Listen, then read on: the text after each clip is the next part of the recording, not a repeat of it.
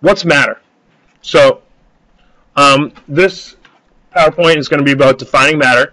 You guys don't have to take notes in it right now. Don't, don't worry about it. Just pay attention. You can look at it later. So.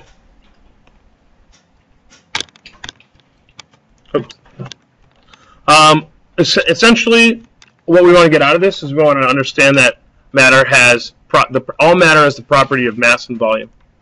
We should be able to look at something and say if it's matter or not, use the terms appropriately, and appropriately measure the mass and volume, which we'll talk about as a skill as we as we move on.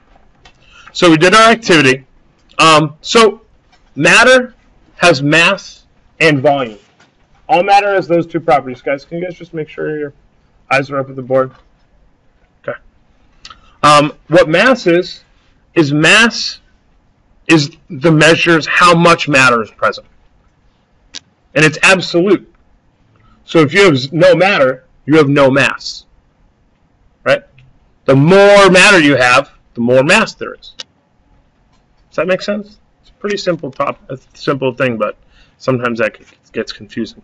Volume measures how much space the matter occupies. Okay? So if you have no matter, if it's not matter, it can't occupy any space. Uh, the units we measure in the SI units, SI stands for System International. They're the unit people. They're the unit people. Uh, I think they're in France, and they just come up with all, or are they in Belgium? I can't remember. But they come up with all the units that are consistent around science in the world, which is also important because we don't want to measure horses in hands anymore. It's important to measure horses in meters or centimeters because that's consistent. Okay? Volume measures how much space they are. You guys are familiar with units. Liters, centimeters cubed, milliliters. We don't use gallons. Gallons, they're uh, an American, an English unit. And the English don't even use those anymore. They've abandoned them a long time ago. Um, so matter can be a pure substance or a mixture.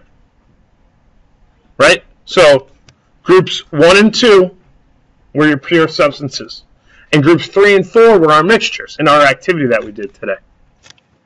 Um, the difference between a, a pure substance, um, element, or compound is your one type of particle in an element is only made of one type of atom. So all those atoms are the same type of atom. So like for instance, you had a sample of copper, all those atoms would be copper. If you had 24 karat gold, all of those atoms would be gold. If you had 18 karat gold, that's a mixture now. You're mixing in some silver and copper in there. Uh, compound is when the particle is made up of multiple elements. So like our water, sodium bicarbonate.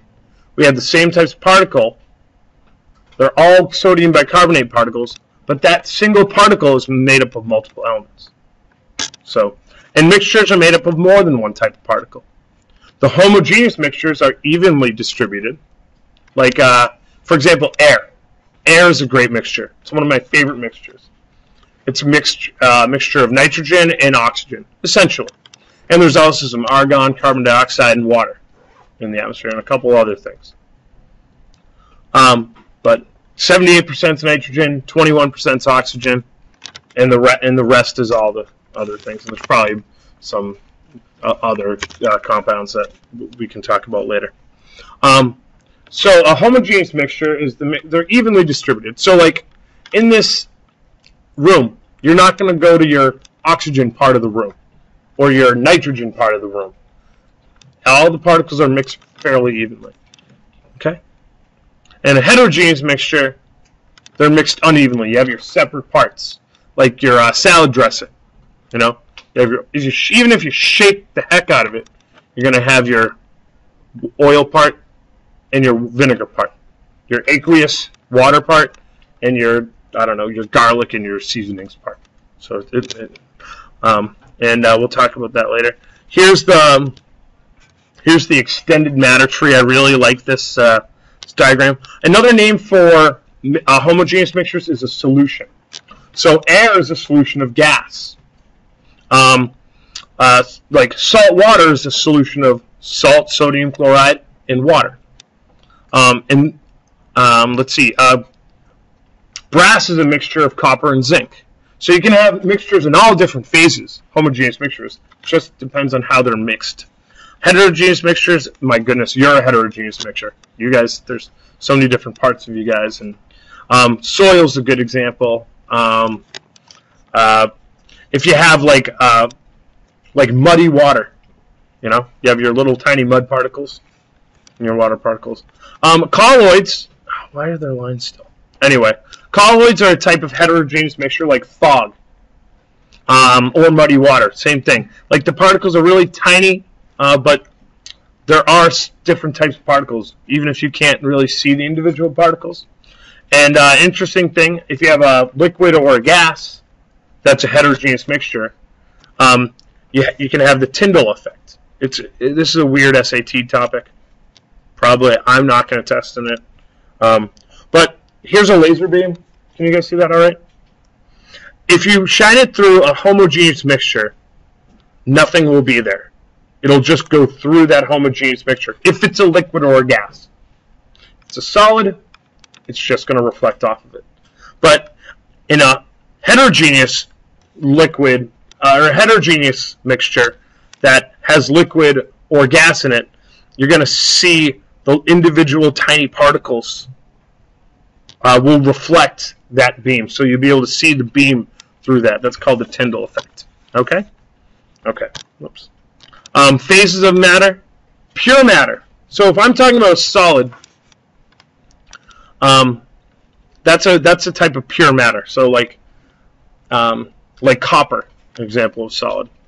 Um, solids have a defined shape, defined volume. Liquids have a definite volume, and they take the shape of their container. A gas has no definite shape and expands to fit whatever container it's in. We're going to talk a lot about gas laws. Gas laws are one of my favorite topics. I love them because gases are great. Uh, plasma, not too much on Earth. If you put a grape in a microwave, I'll try to show you guys that um, soon. Uh, plasma is a type of ionized gas, uh, mainly found uh, in our sun because sun is really high energy and can uh, ionize a gas. Um, here's a kind of a definition.